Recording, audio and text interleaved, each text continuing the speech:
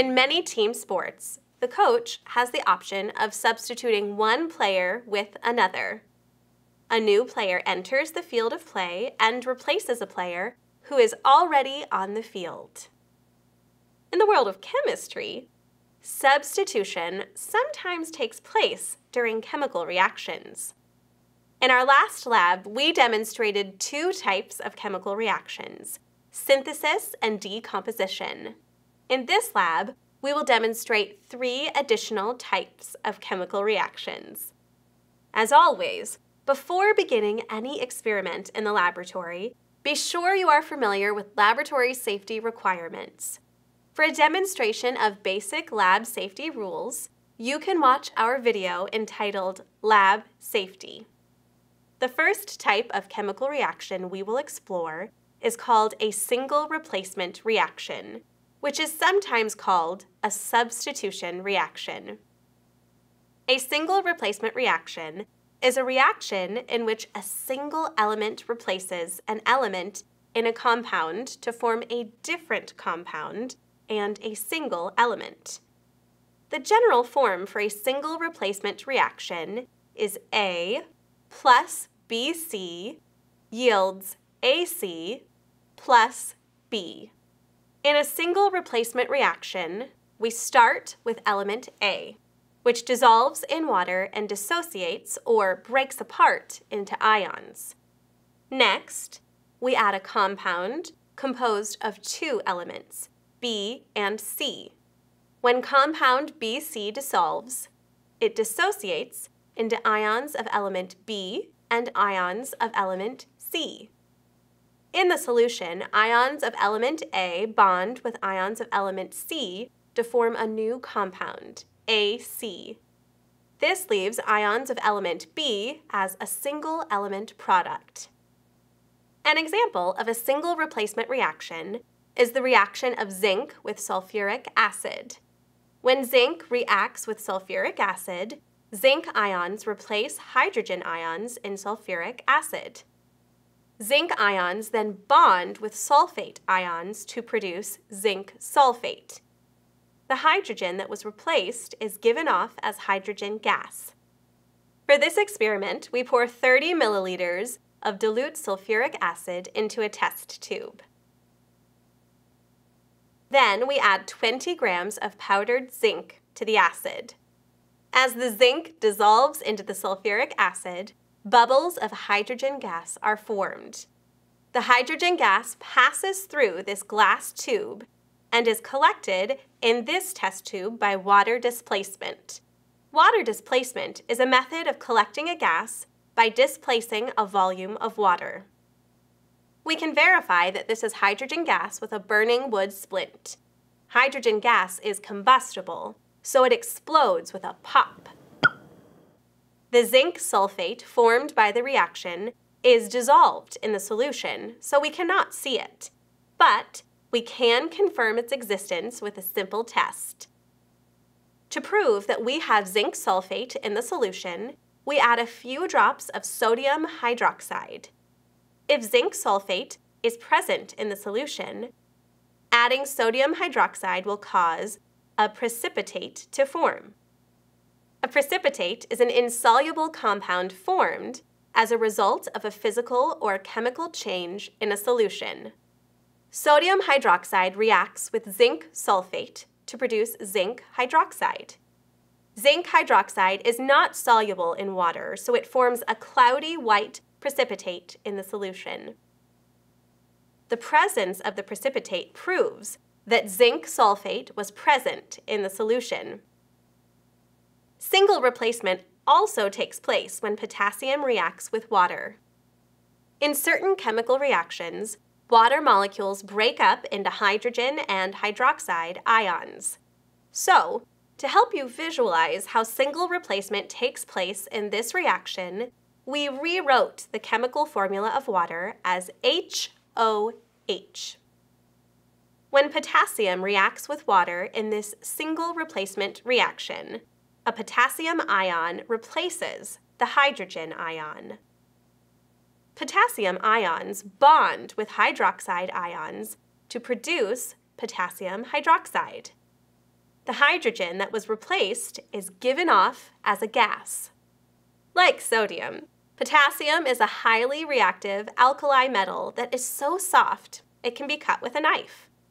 The reaction with water will produce potassium hydroxide, but we will not be able to see the product since it will be dissolved in water.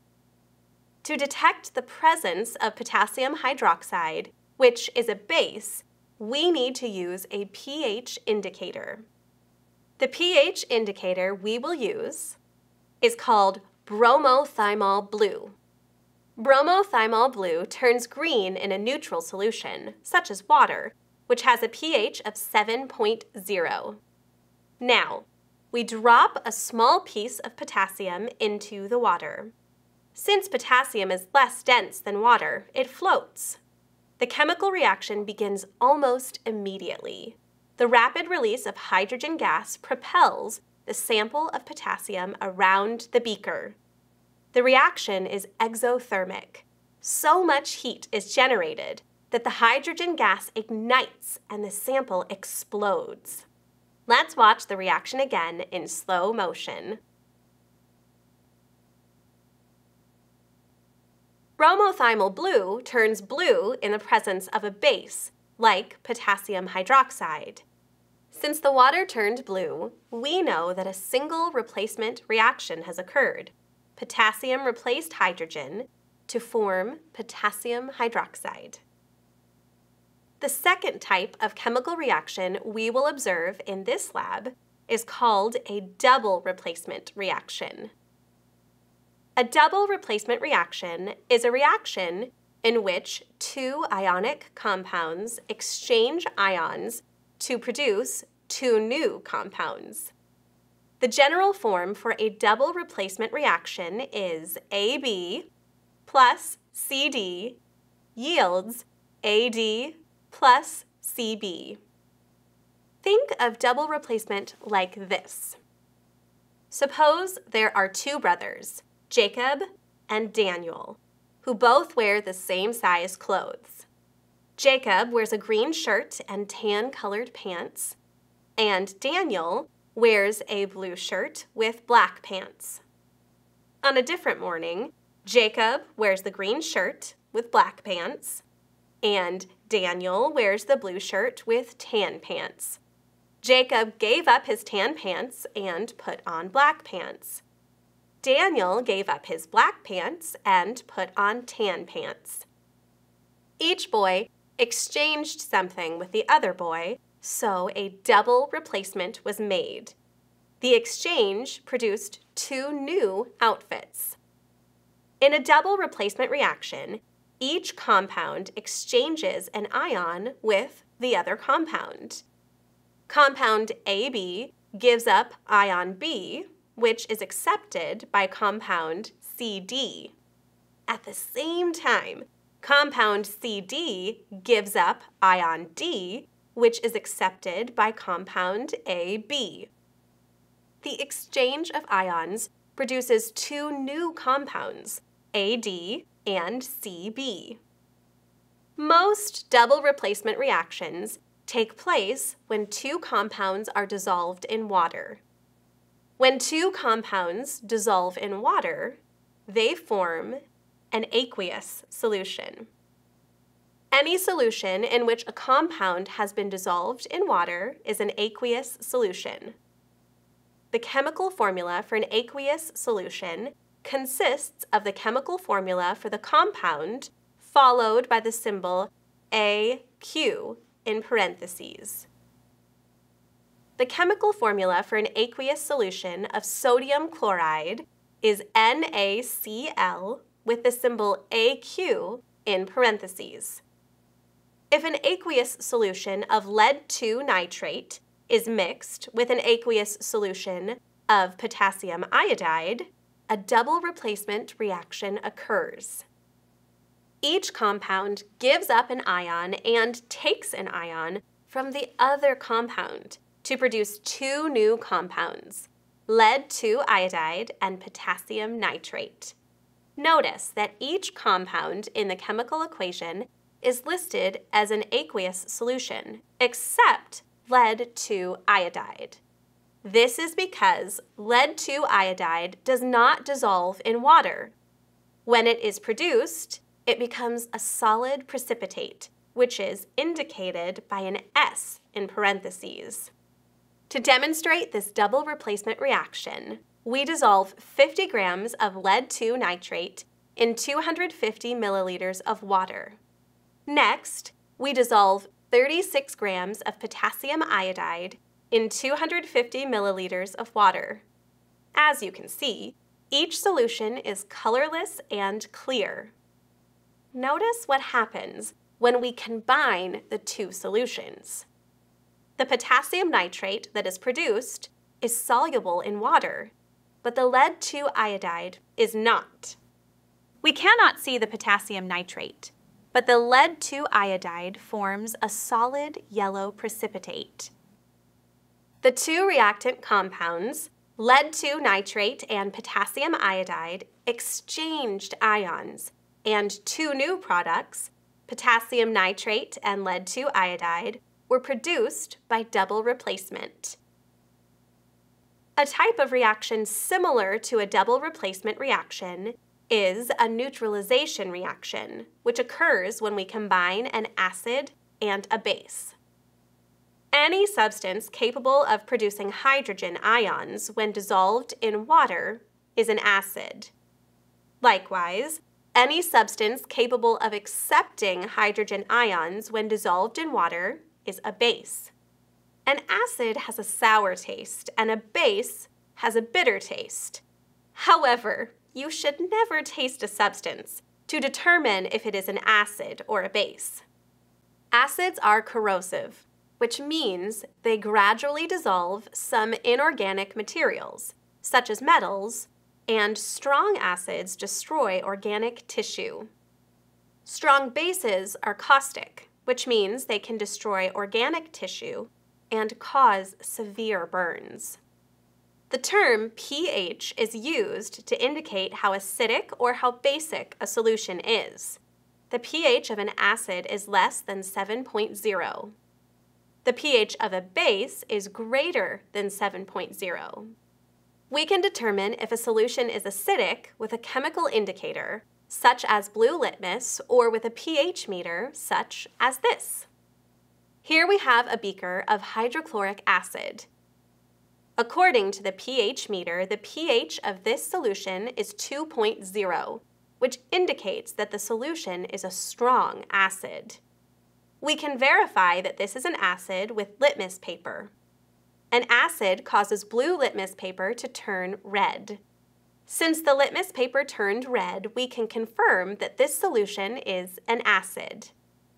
We can determine if a solution is basic with a chemical indicator, such as red litmus, or with a pH meter. Here, we have a beaker of sodium hydroxide, a strong base. According to our pH meter, the pH of this solution is 13.0, which indicates that it is a strong base. We can verify this is a base with red litmus paper. A base causes red litmus paper to turn blue. Since the litmus paper turned blue, we can confirm that this solution is a base. A neutral substance that is neither acidic nor basic has a pH of 7.0. Distilled water has a pH of 7.0. Neither blue nor red litmus paper is affected by distilled water. When an acid and a base are mixed, they neutralize each other. Adding a base to an acid makes the acid more basic. Adding an acid to a base makes the base more acidic. The reaction of an acid with a base resulting in a more neutral product is a neutralization reaction. The products of a neutralization reaction are a salt and water. A salt is any ionic compound formed by the cation of a base and the anion of an acid.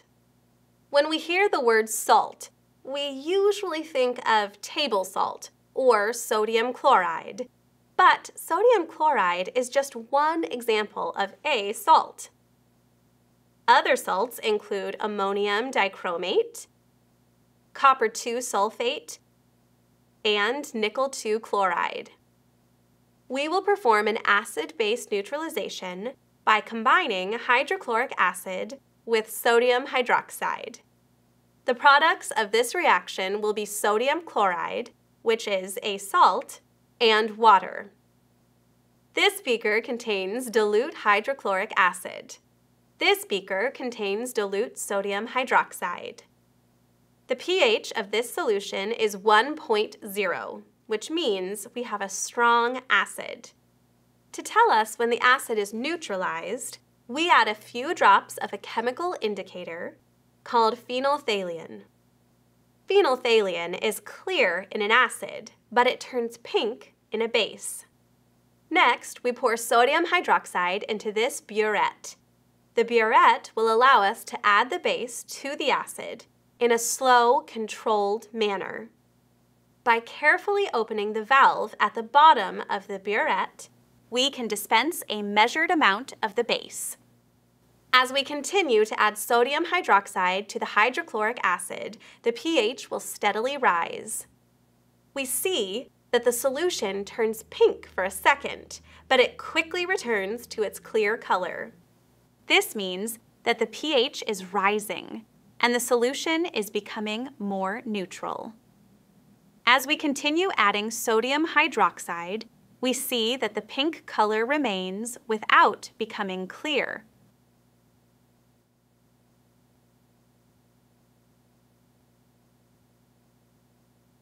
The indicator tells us that this solution is now slightly basic, so the acid has been neutralized, and the reaction has produced water and sodium chloride. In this lab, we have looked at two single replacement reactions, a double replacement reaction, and a neutralization reaction. In our next lab, we will examine some of the physical and chemical properties of metals. At this time, proceed with the corresponding activities.